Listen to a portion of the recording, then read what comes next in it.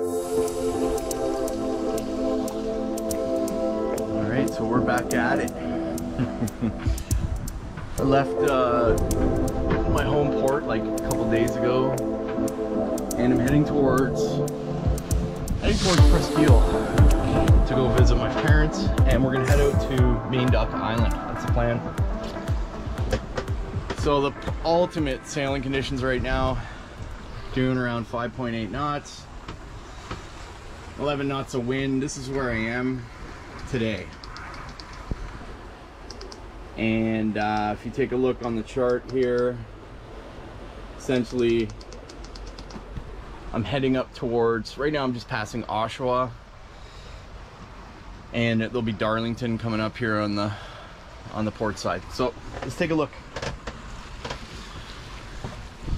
It's about 7.30 in the morning right now, maybe 8 o'clock.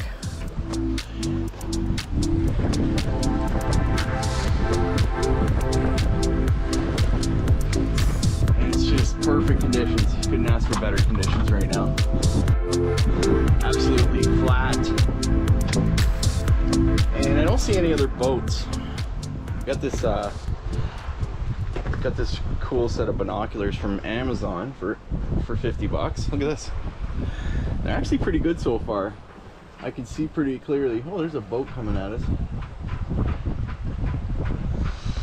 Yeah, so looks like I'm gonna get in and around the Cobourg area. Um, most likely late afternoon, maybe like four, could be sooner. So I may just continue on to Presqu'île because I really want to get there. And uh, there's a weather window. This is the whole thing about where I'm going, is to get to Main Duck Island. You have to pass around uh, the Bay of Quinte. Now, I've done it before. You can watch those videos. I'll link to it up here. Uh, man, it's, it's a bit of a tough sail because the conditions can change really quickly. And uh, I, last time I did it, it was pretty easy. So I was lucky.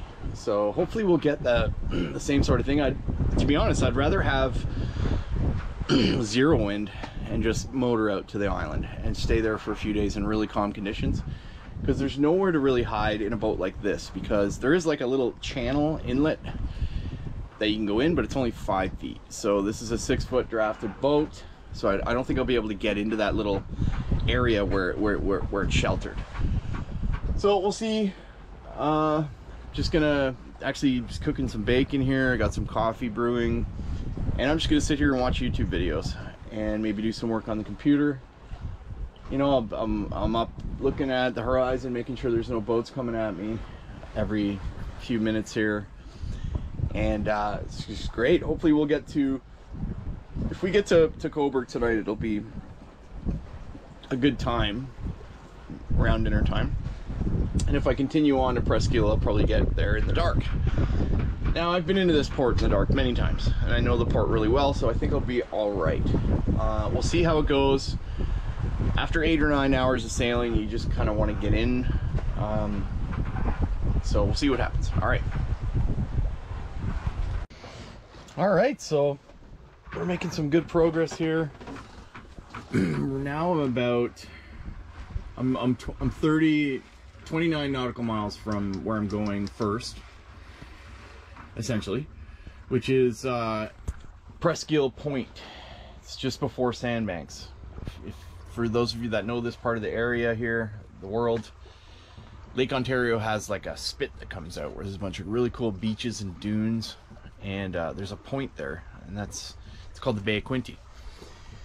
So the computer's saying that I'll get there tonight at roughly 7:30 p.m. so uh, it's pretty cool. I'll show you guys what what what my plans are here let's go down below and take a look at the charts. So so we're essentially right about here. And we want to go to here. This is Presqu'île Point. Now my parents have a trailer which is right about here. And uh, I think I'm gonna come around and go and anchor somewhere here it's because there's a bit of shelter. Now that's that's as if there's a if there's horrible weather, and then that's my escape plan, right? So I think what I'll do tonight is just get to this this spot and get anchored and get situated.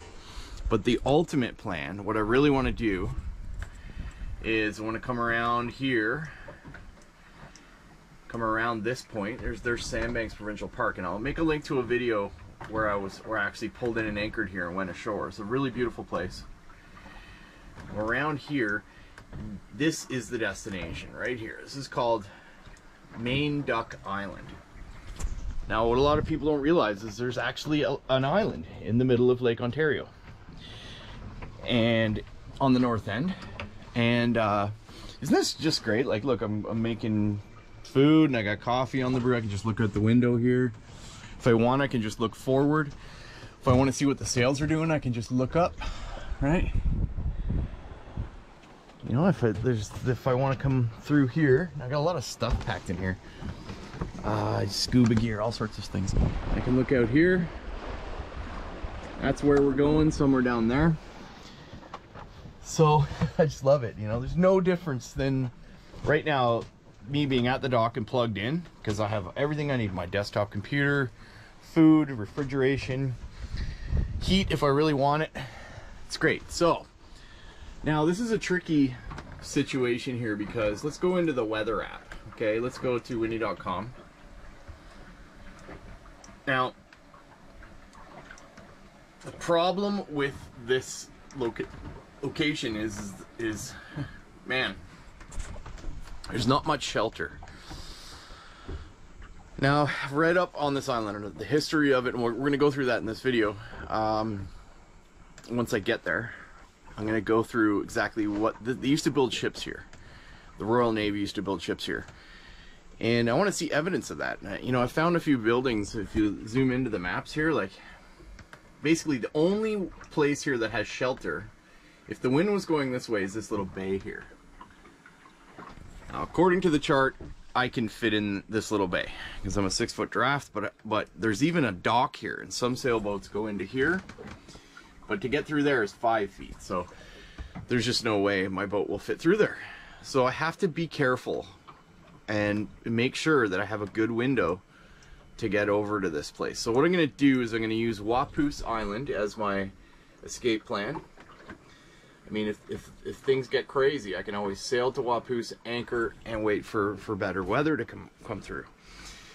Now, of course, this is in a couple days from now. This is this is you know I got to get to Presqu'île Point. So once we make it to Presqu'île tonight, uh, I'll show you guys what it looks like. All right. All right, so we're making good progress here. I had some lunch, and I've been sailing for about I don't know 10 hours, eight hours now. And I think I've done like 50, almost 45 nautical miles. This is where I am on the chart.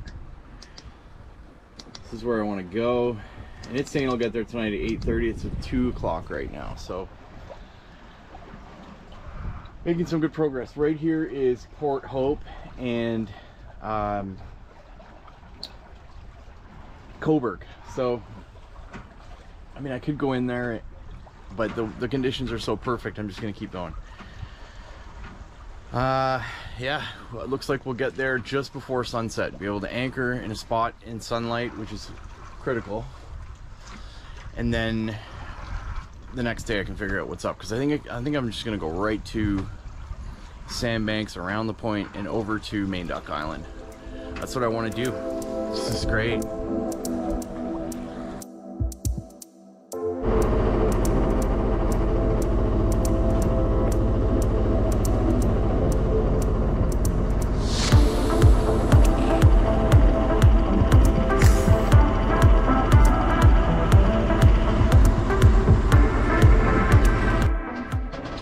Situation here.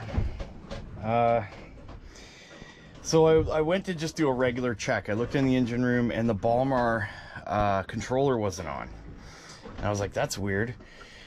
So then I noticed it's not charging. So anyway, what what has happened here is one of the wires going to the alternator had burnt through. So obviously I need bigger wire there or something's not wired right. I don't know. So, and another thing too is the fuel gauge says that it's full of fuel, but this seems to have air in it here.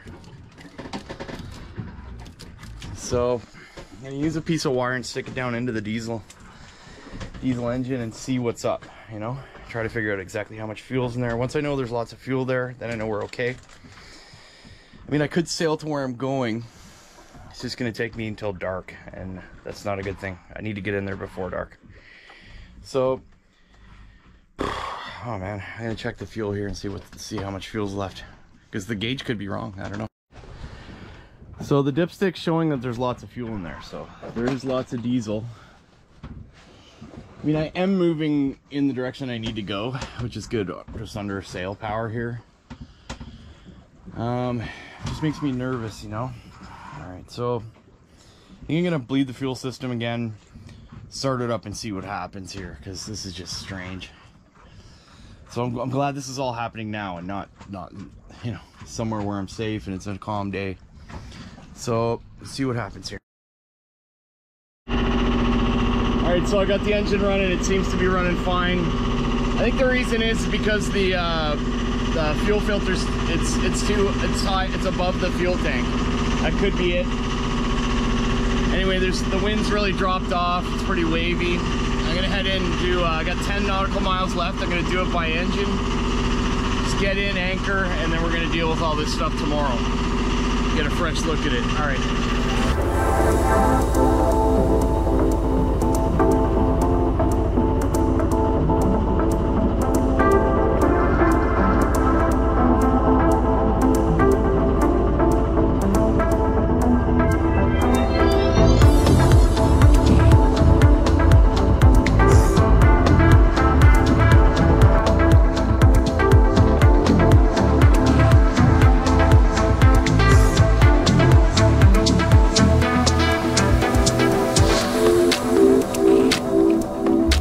So after a long sail from my home port of Pickering all the way to Presqu'île Bay, I found myself at anchor, and all was well.